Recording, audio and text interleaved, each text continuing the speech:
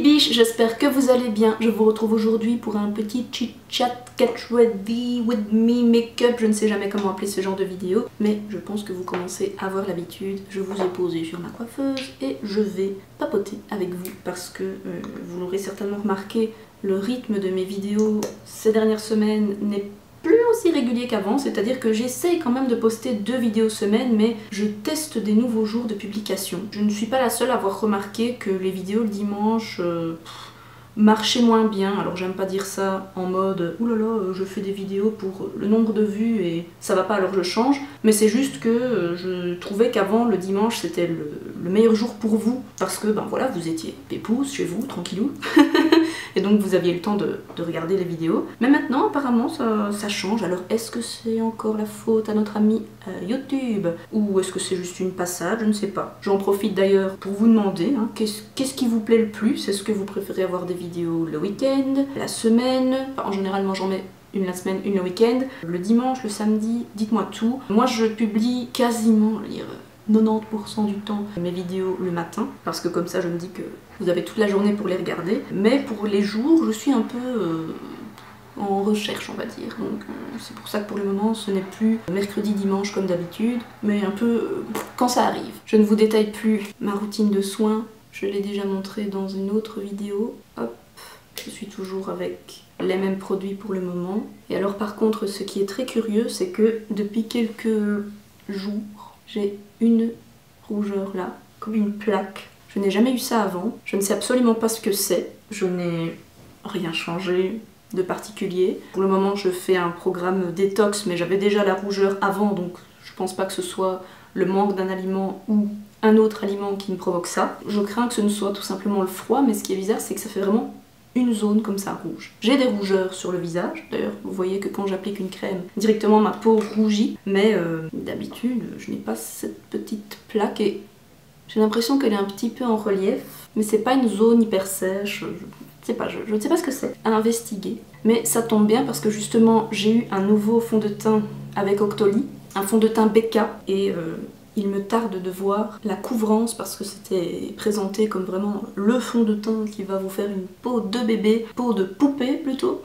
Donc on va voir ça. Sinon à part ça, je dois bien vous dire que euh, le Whole 30 a l'air de plutôt bien me réussir au niveau de la peau, c'est-à-dire que je n'ai pas de boutons qui apparaissent. Et si j'en ai, parce que ça arrive quand même, euh, ils disparaissent en un jour. Donc ça c'est plutôt agréable, parce que c'est vrai que je suis abonnée au bouton micro-kyste sur la mâchoire et je sais que c'est à cause du sucre ou du gras. Donc ça ne peut faire que du bien de faire un petit programme détox. D'ailleurs, si vous ne savez pas du tout de quoi je parle, d'abord je vous invite à aller voir les vidéos que Rachel Martineau a faites sur le sujet parce qu'elle a également suivi ce programme détox sur un mois. Et moi j'en parle pas mal sur Instagram, donc si ça vous dit, rejoignez-moi sur Instagram. Et si ça vous dit vraiment vraiment que j'en parle, dites-le moi et je peux en faire une vidéo en toute simplicité avec mon expérience, mon bilan peut-être à la fin du mois, mes ressentis, parce que je pense que c'est quelque chose de pas très très connu en Europe encore. Ça ressemble un petit peu au régime paléo, mais c'est plus restrictif, et c'est-à-dire que ce n'est pas un mode de vie, c'est pas un mode d'alimentation qu'on garde toute sa vie. Whole 30, comme son nom l'indique, c'est euh, manger plus d'aliments entiers, donc non transformés, pendant un mois, et pas toute sa vie. Donc attention, ça je mets déjà une, alerte.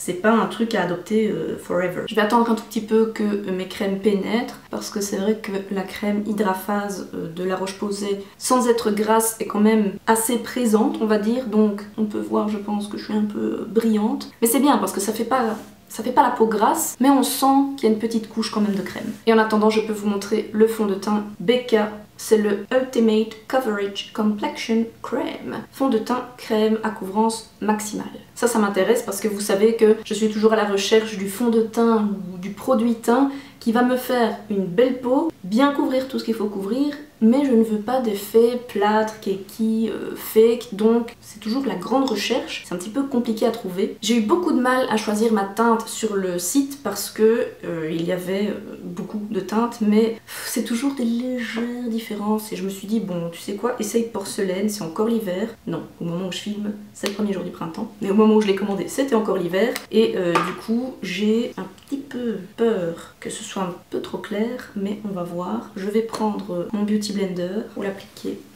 Hop, hop. Une pompe de produit, c'est déjà pas mal. Il y a déjà pas mal de produits qui viennent.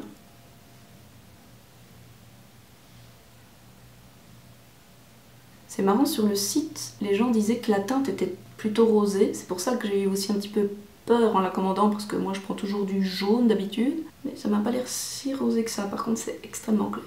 Pas sûr que ce soit la bonne teinte pour moi. J'aurais dû prendre la teinte juste au-dessus, mais c'est ça le problème, c'est que soit c'est la teinte porcelaine avec les teints les sous-tons rosés, soit c'est la teinte juste au-dessus, je ne sais plus comment elle s'appelle, avec sous-ton jaune. Donc on peut pas avoir la teinte au-dessus mais sous-ton rosé. Là on voit clairement. Décidément c'est impossible pour moi de, choisir une bonne teinte de fond de teint, mais sur internet euh, c'est extrêmement compliqué. Au niveau de la couvrance, je dois dire que c'est plutôt pas mal. Alors au niveau de la teinte, euh, très clairement on part sur un make-up Morticia Adams. Je vais certainement devoir mélanger avec une autre teinte. Peut-être euh, mon fond de teint Tarte, qui lui pour le coup est un petit peu trop jaune, parce que là c'est marrant, c'est trop marrant. Dans mon miroir ça va, mais alors dans le retour écran j'ai l'air d'un fantôme les gars, c'est pas possible. Par contre au niveau couvrance, moi je vois plus la rougeur. Juste en quelques tapotements de Beauty Blender. Une pompe c'est largement suffisant. Si vous n'avez pas euh, beaucoup de boutons à cacher, je pense que même moins d'une pompe ce sera bon. Par contre, je pense que c'est normal, mais ce n'est pas un fond de teint imperceptible. Maintenant, je sais bien, je demande un petit peu l'impossible en disant je veux quelque chose qui couvre, mais qui en même temps ne se voit pas. C'est-à-dire qu'à ce moment-là, on ne met rien. Mais ça va, ça va. Je trouve que ce n'est pas, pas trop flagrant. Ce qui est flagrant, c'est la blancheur de ma tête.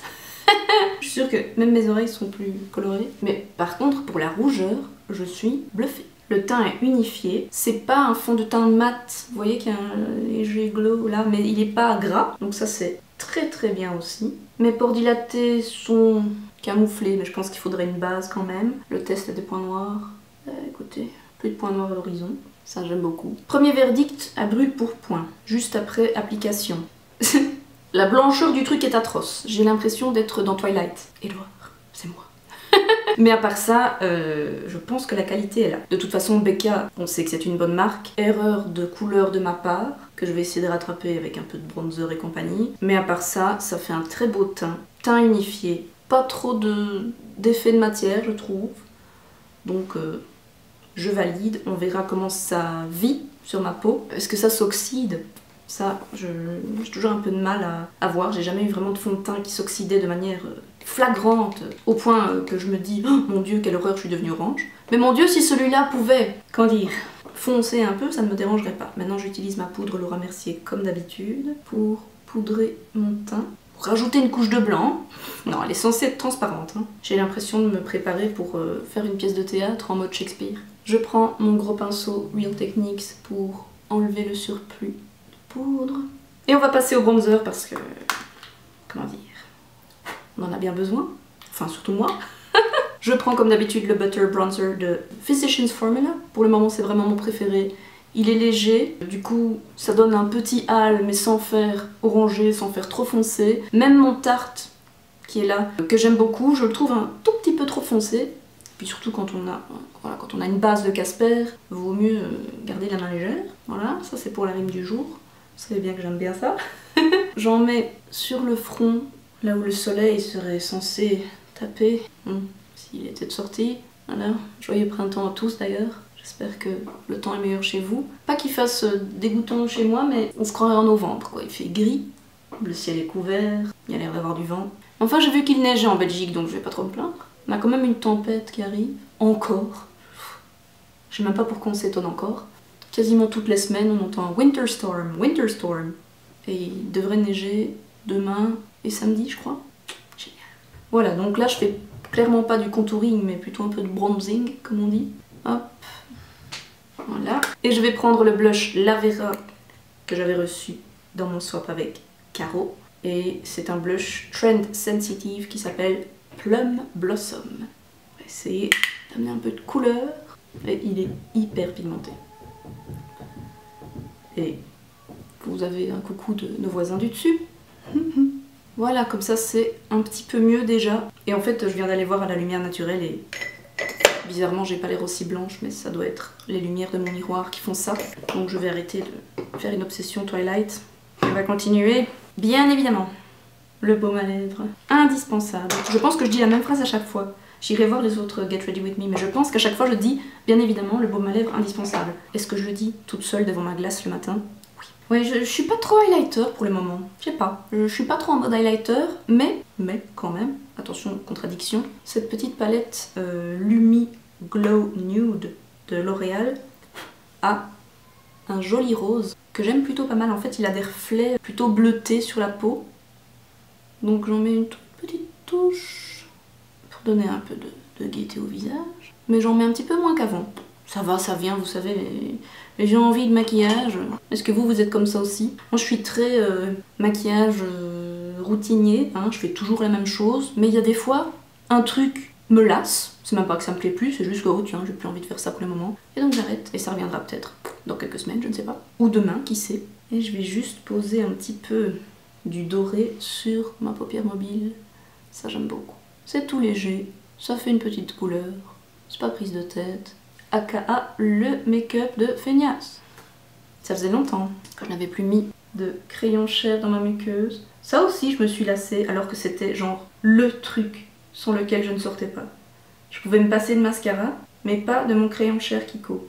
Et puis un jour, je sais pas, ça m'a saoulée. Je me suis dit, tiens, j'ai pas les yeux trop rouges et tout, je peux, je peux faire sans. Et voilà.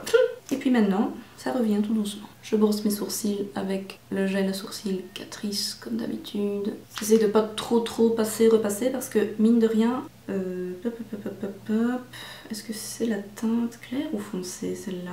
Est-ce qu'il y a seulement une teinte? Je ne sais pas. C'est la teinte 010 apparemment. Peu importe, je pense que c'est la teinte la plus claire et il est quand même vachement teinté donc je préfère ne pas trop en mettre. Je recouvre mes cils.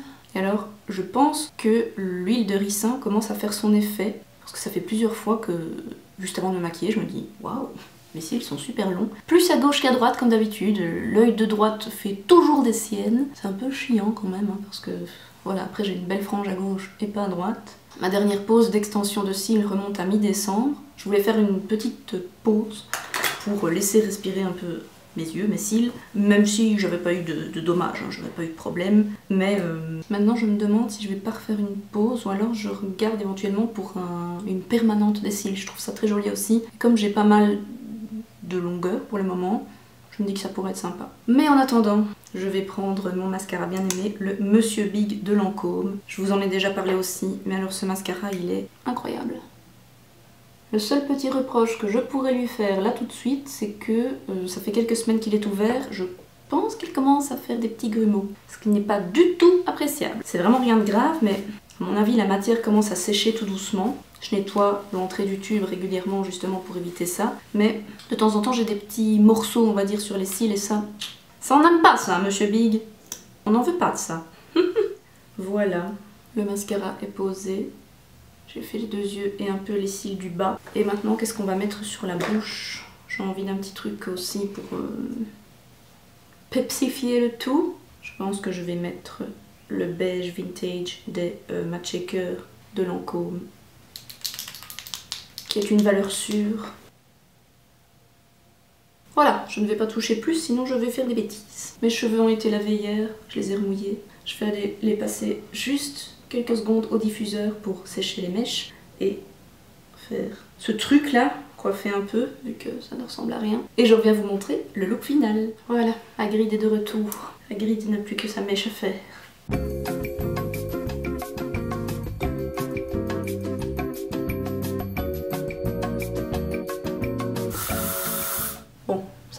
Mais je voulais vous montrer à la lumière du jour. Je pense que ça fait un petit peu moins quand même cadavérique. Vous voyez que le raccord avec mon cou est quand même mieux. Voilà mes petites biches, je vais arrêter ce chit-chat make-up ici, vu que j'ai terminé. Et je vais m'en aller au boulot. Alors je vous souhaite une excellente journée. J'espère que cette vidéo vous aura plu. Surtout si c'est le cas, n'hésitez pas à vous abonner, à me laisser un petit pouce en l'air et un commentaire. Et aussi vous pouvez me rejoindre sur Instagram pour qu'on échange au quotidien. Et n'hésitez pas à me dire si vous voulez aussi une vidéo sur le Whole 30. Moi je vous fais d'énormes bisous et je vous dis à bientôt